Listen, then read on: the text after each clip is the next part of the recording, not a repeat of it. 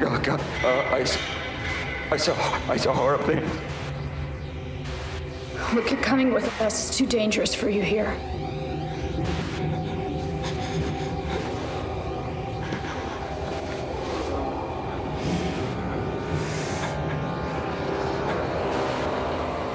Leave him. Fuck you, we're not leaving him here. He's got one inside of him. I can smell it. Inside me? Inside me? What's inside me? Hey, man, I don't want one of those things birthing anywhere near my ass. It's a bad risk. What's inside me? Look, we can't just leave him here. I thought you came here to stop him from spreading.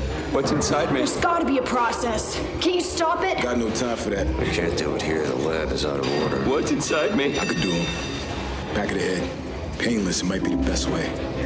What's inside me? No, there's got to be another way. We freeze him. What's in fucking inside me?